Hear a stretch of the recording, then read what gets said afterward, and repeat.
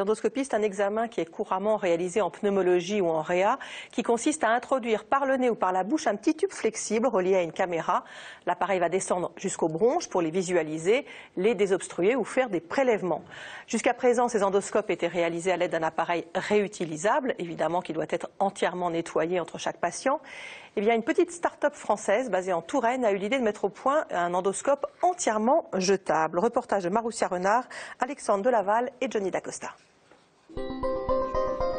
Combinaison intégrale, masque, gants, les mesures de protection sont drastiques, mais ici on ne manipule pas de dangereux virus, on fabrique un instrument médical d'un nouveau genre, un endoscope entièrement jetable. Cet endoscope est fabriqué dans des conditions d'asepsie très rigoureuses pour éviter toute contamination, car il est destiné à réaliser des examens ou des prélèvements bronchiques sur des patients souvent fragiles. Alors on va se mettre de ce côté-là. On va prendre l'endoscope. Nous sommes dans le service de réanimation chirurgicale du CHU de Tours, l'un des premiers à s'être équipé de cet endoscope jetable il y a bientôt deux ans. Comme un endoscope classique, cet appareil permet également de réaliser des prélèvements bactériologiques. La gestuelle est la même. C'est à la fin de l'examen que l'on peut voir la différence. L'avantage de cet endoscope à usage unique, c'est qu'une fois l'endoscopie terminée, tout ceci part à la poubelle. L'intérêt pour nous, c'est d'avoir une technique d'endoscopie bronchique disponible en permanence dans la réanimation.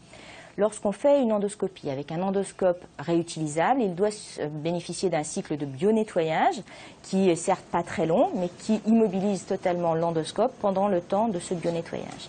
Et donc si on a une autre endoscopie à faire en urgence, qui est assez fréquemment le cas en réanimation, eh bien soit on a un autre endoscope dans l'AREA, mais il peut aussi être utilisé, soit on doit faire appel à nos collègues des autres services. Le temps nécessaire pour trouver un autre endoscope disponible peut être préjudiciable pour certains patients en détresse respiratoire. Autre inconvénient des endoscopes traditionnels, les cycles de nettoyage répétés entraînent une usure qui peut aboutir à des examens de moins bonne qualité. Autant d'arguments qui ont déjà convaincu cinq hôpitaux français de s'équiper de ces nouveaux appareils jetables.